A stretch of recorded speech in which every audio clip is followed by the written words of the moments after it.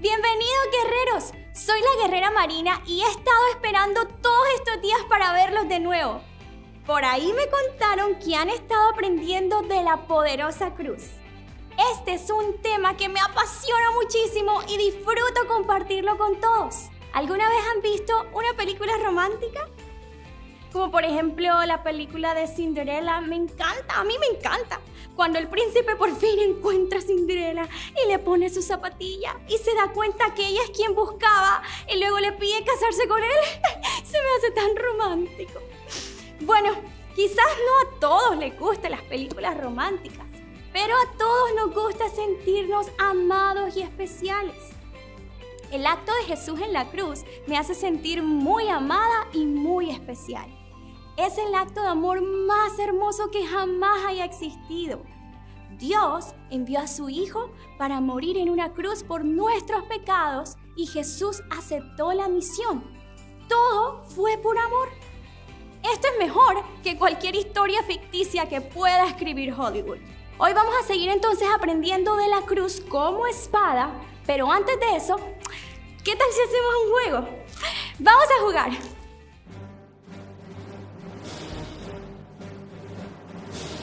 Juego, yo quiero jugar. Guerrera Marina, escúchame muy bien. Tú no vales nada. No tienes propósito. Tienes derecho a decidir quién eres porque no le perteneces a nadie. ¡Oh no! Llegó el enemigo a atacarme. Está atacando mi identidad. Dice que no valgo nada, que no tengo propósito. Pero yo sí sé quién soy. Conozco mi verdadera identidad. Soy una guerrera H2O. Soy hija del Dios poderoso, llena del Espíritu Santo y equipada para vencer las batallas espirituales. Niños y niñas, cuando el enemigo quiera venir contra ustedes y hacerlos sentir que no valen nada, que no tienen propósito o una verdadera identidad, recuerden siempre que el poder de Dios vive dentro de ustedes y respondan con la verdad. Lo es que escrito está. En el nombre de Jesús rechazamos toda mentira sobre mi identidad y lo reemplazamos con la verdad de Dios. Sacamos de raíz de nuestro corazón toda confusión de nuestra identidad. Somos creación de Dios. Él nos formó de manera perfecta y maravillosamente. Estoy feliz con el diseño original. La Biblia dice que Dios nos formó en el vientre de nuestra madre y lo hizo de manera perfecta y maravillosa. Lo declaro, escrito está. Si ven cómo salió llorando y cómo salió huyendo, enemigo, no te metas con nosotros. Guerreros, ya saben, tenemos que estar siempre preparados para derrotar al enemigo con nuestra espada, la Biblia. Él va a querer interrumpirnos durante todo el día. Por eso es importante abrazar la palabra y tenerla siempre en nuestra boca. Así podremos declarar la verdad contra el enemigo y no podrá hacer nada más que huir. Tengo que ir a contarle a Coralina de nuestra victoria el día de hoy. Mientras voy a buscarla, lo dejo en las manos de nuestro super guerrero Aqualui para continuar con nuestro estudio de la cruz como espada. Prepárense para usar nuestro superpoder tridimensional P3. Guerreros H2O, bienvenidos. Estoy súper emocionado porque estamos aprendiendo acerca de cómo debemos ver la cruz. Y la cruz la debemos ver como una espada, como la obra de Dios que atravesó los cielos, llegó hasta la tierra y venció a la muerte. Estoy muy emocionado porque Cristo nos preparó el camino para que nosotros viviéramos en este mundo, pero no somos parte de este mundo. Esa fue parte de su oración por sus discípulos. Vivimos en este mundo, pero no somos parte de este mundo. Además, quiero compartirles algo que está en nuestra Aqua Biblia, en Colosenses 3.3, y dice de la siguiente manera, pues ustedes han muerto a esta vida y su verdadera vida está escondida con Cristo en Dios. Me gusta mucho esta palabra que dice nuestra verdadera vida está escondida en Dios. Me hace pensar también en el Salmo 91 que dice, el que habita bajo el abrigo del Altísimo, mora bajo la sombra del Omnipotente. Estamos resguardados, estamos escondidos en Él. Así que hoy quiero compartirte tres significados más de lo que la cruz hace en nuestra vida. Cuando Cristo vino aquí, Él hizo muchísimo. Es difícil poder describir la cruz en una sola palabra, pero hoy quiero decirte tres propósitos que logró Cristo a través de la cruz. Número uno, a través de la cruz nosotros, Cristo nos vistió de una nueva vestidura. La vestidura que estaba llena de pecado, la vestidura que tenía manchas, que quizás estaba rota, fue transformada. Y recuerden la palabra que aprendimos en el episodio anterior. Fuimos redimidos, quiere decir que fue restaurada. Se nos quitó esa vestidura de pecado y Él nos vistió de una vestidura blanca, de una vestidura limpia, a través de la obra que Cristo hizo en la cruz. Un segundo regalo que la cruz nos trajo fue la transformación. Él nos transformó. La Biblia nos enseña que cuando nosotros venimos a Cristo, somos unas nuevas personas. Las cosas viejas pasan y todas son hechas nuevas. La obra de Dios empieza a suceder en nosotros y es cuando somos transformados. Cuando nosotros permitimos que Cristo desde nuestro interior empiece a transformarnos. ¿Cómo sucede eso? cuando nosotros estudiamos la Biblia, cuando nosotros nos sumergimos en la oración, nos sumergimos en la palabra, nos sumergimos en la adoración, algo interno empieza a pasar y poquito a poquito empezamos a cambiar para parecernos más a Jesús. Y esa es la transformación.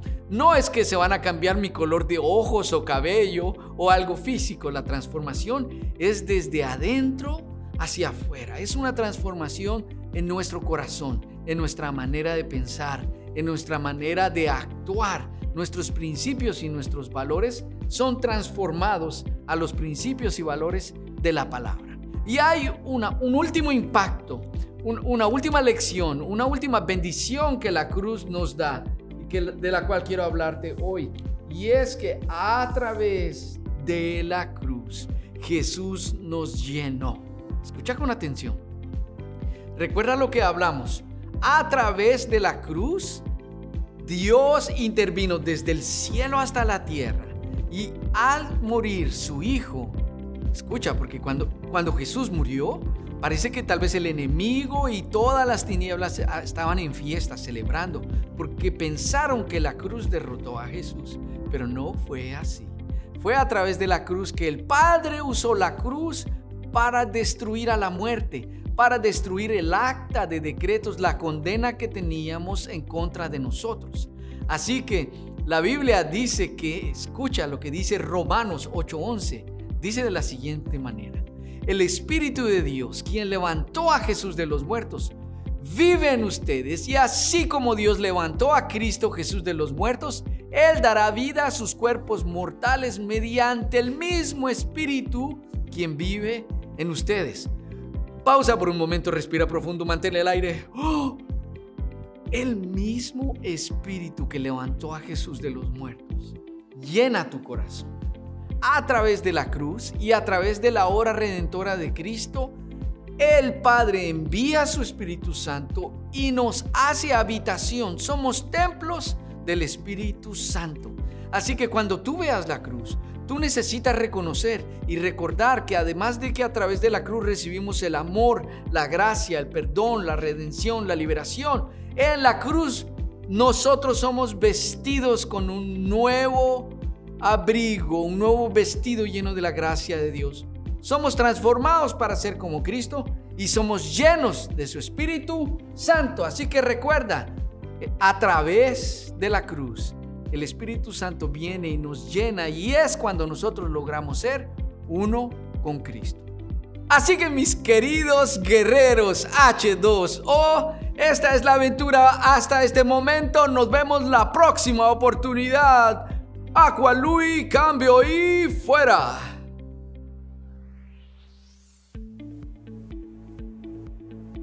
Hola guerreros, En este segmento de principio vamos a memorizarnos un principio bíblico que todo guerrero bíblico debe saber. Hoy aprenderemos el principio de ser uno en Él. Abramos nuestra Aqua Biblia y leamos Juan 17, versículos 20 al 23. No te pido solo por estos discípulos, sino también por todos los que creerán en mí por el mensaje de ellos. Te pido que todos sean uno, así como tú y yo somos uno. Es decir, como tú estás en mí, Padre, y yo estoy en ti. Y que ellos estén en nosotros, para que el mundo crea que tú me enviaste. Les he dado la gloria que tú me diste, para que sean uno como nosotros somos uno. Yo estoy en ellos y tú estás en mí que gocen de una unidad tan perfecta que el mundo sepa que tú me enviaste y que los amas tanto como me amas a mí. Juan 17, versículos 20 al 23. No seremos uno con Dios y con Cristo hasta que logremos que la voluntad e intereses de Dios sean nuestro mayor deseo. ¿Eso piensan que puede ser fácil o difícil? ¿Qué piensan? Mm, difícil si solo quieres hacer las cosas a tu manera y si todo gira alrededor de ti fácil si quieres hacer la voluntad de Dios y es Él que está en el centro de tu vida. ¿Sabías que Jesús decidió el camino de la obediencia a su Padre y decidió el camino del servicio? En todo, todo, todo, todo. Él quería ser uno con su Padre. Para nada estaba interesado en brillar él solo. Al llegar al final de su ministerio terrenal y saber que su hora había llegado, Jesús reunió a sus discípulos en un aposento alto en Jerusalén. Después de la cena y de haberles lavado los pies y haberles enseñado, Jesús ofreció una oración a favor de sus discípulos y de todos los que creeríamos en Él. Suplicó al Padre diciendo, que sean uno.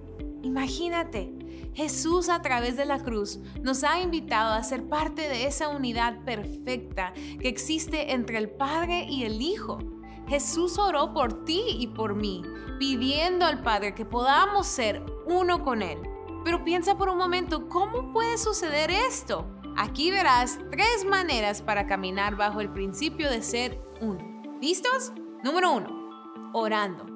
Solo a través de la oración nos rendimos a la voluntad de Dios y abrazamos el verdadero significado de la cruz de morir para vivir. A través de la cruz se rompió el muro de separación que había entre Dios y nosotros.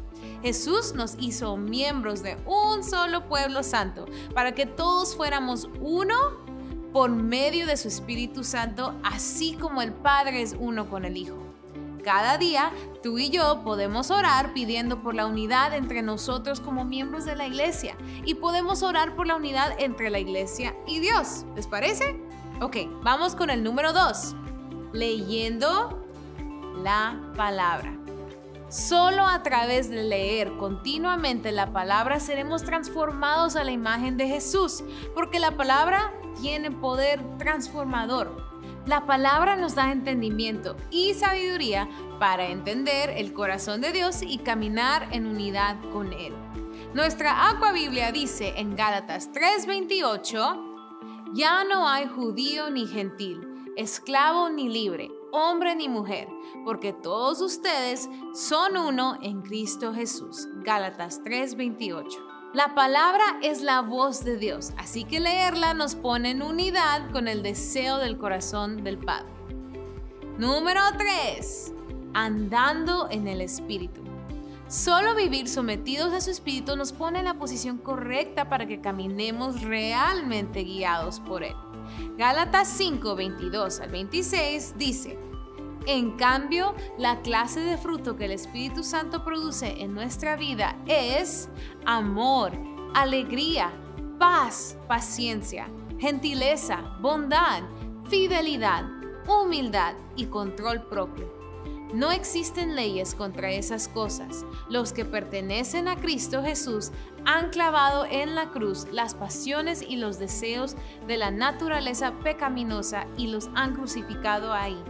Ya que vivimos por el Espíritu, seguimos la guía del Espíritu en cada aspecto de nuestra vida. No nos hagamos vanidosos, ni nos provoquemos unos a otros, ni tengamos envidia unos de otros. Gálatas 5, 22 al 26. Recuerda siempre este principio y compártelo con todos tus amigos, con todos los demás. El principio de ser uno en Él. Así es, recordemos el principio de ser uno. La última parte de nuestro superpoder tridimensional P3, que es mi parte favorita, es práctica. Accionaremos durante la semana poniendo en práctica lo que hemos aprendido el día de hoy. Esta semana vamos a tener una práctica para completar en familia. Con tu familia, abran la Agua Biblia en Juan 17, donde encontramos la oración de Jesús. Vamos a dividirlo en cinco secciones para que podamos tener turnos para leerlo y poder explicarlo. Les voy a explicar cómo van a dividir los versículos en cinco secciones. La sección número uno serán los versículos del 1 al 5. La sección número 2 serán los versículos del 6 al 10. La sección 3 serán los versículos del 11 al 15. La sección número 4 serán los versículos del 16 al 20. Y finalmente, la sección número 5 serán los versículos del 21 al 26. Después de que hayas preparado tu cartulina con las cinco secciones, elige a un miembro de la familia que escribe en la cartulina lo que aprendan de cada sección. Practiquemos en este primer turno. Yo leeré los primeros cinco versículos, o sea, la sección 1, y luego hablaremos para anotar en la cartulina lo más importante de esa sección. ¿Listos? Ok. La sección número 1 es del versículo del 1 al 5 y dice así. Después de decir todas esas cosas, Jesús miró al cielo y dijo, Padre, ha llegado la hora, glorifica a tu Hijo para que Él, a su vez, te dé la gloria a ti, pues le has dado a tu Hijo autoridad sobre todo ser humano él da vida eterna a cada uno de los que tú le has dado. Y la manera de tener vida eterna es conocerte a ti, el único Dios verdadero, y a Jesucristo, a quien tú enviaste a la tierra. Yo te di la gloria aquí en la tierra, al terminar la obra que me encargaste. Ahora, Padre, llévame a la gloria que compartíamos antes que comenzara el mundo. Después de que lean el versículo de la sección, tomen un tiempo para hablar sobre las cosas que les enseñan estos versículos, para escribirlo sobre la cartulina. Escribe todo lo que aprendiste de esta porción del capítulo. Por ejemplo, aquí yo lo hice para la sección número 1, que es del versículo 1 al 5. Después de leerlo, yo escribí estas cosas que aprendí de estos versículos. Son cuatro. Número uno, Jesús reconoció el tiempo en el que estaba y la misión que tenía. Y punto número dos, el corazón de Jesús era darle gloria a su Padre. También aprendí que la obediencia da gloria a Dios. Y por último, solo la fe en el Dios verdadero nos dará la vida eterna a través de Jesús. Así irán completando cada sección hasta llenar tu cartulina. Tomen tiempo en casa para hacer esta práctica con su familia, para que juntos aprendan más de las profundidades de la palabra. No olviden, la sección número uno serán los versículos de 1 al 5. La sección número 2 serán los versículos del 6 al 10. La sección número 3 serán los versículos del 11 al 15. La sección 4 serán los versículos del 16 al 20. Y finalmente la sección 5 serán los versículos del 21 al 26. Completa estas prácticas esta semana y nos vemos en el próximo episodio. Guerreros H2O fuera. Ejército de guerreros, hemos tenido un día lleno de mucha acción. Sin duda tenemos la victoria en Dios. La clave es sumergirnos en la ola de su palabra y llevarla en nuestros corazones. Así estaremos preparados para declarar lo que está escrito cuando venga a tentarnos el enemigo. Recuerden que somos uno con Dios y es gracias a Jesús y la cruz que tenemos la victoria. ¿Qué tal si antes de despedirnos nos sumergimos en la ola de la oración juntos? Vamos a declarar quiénes somos y agradecer a Dios por la cruz. Te invito entonces a que cierres tus ojitos, pongas tus manos sobre tu corazón y repite después de mí. Invencible Dios, tengo victoria en ti. Vivo agradecido por tu infinito amor, que nunca cambia.